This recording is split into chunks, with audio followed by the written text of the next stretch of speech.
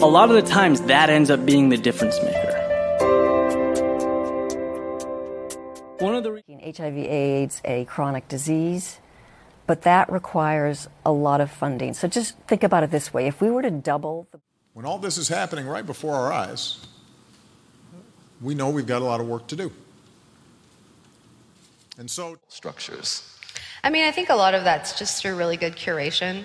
So I've worked with a lot of amazing promoters who know. Worked on his first You're on the board plan. and you're doing a lot of stuff there. And what Jeff and I talked about was I said, I think actually. business